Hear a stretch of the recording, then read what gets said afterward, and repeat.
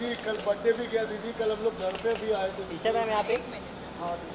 घर पे आए थे दिया नहीं आपको नहीं दीदी हम लोगों को कुछ मिला नहीं। वो तो भैया भी आए थे शाम को। इधर आ जाइए।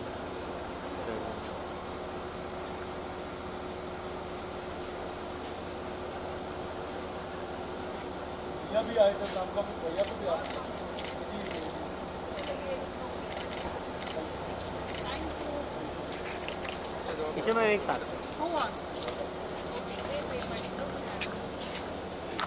हाँ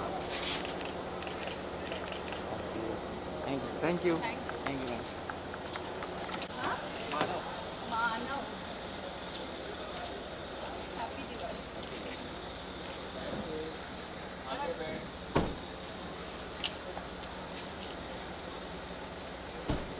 Okay okay yeah yeah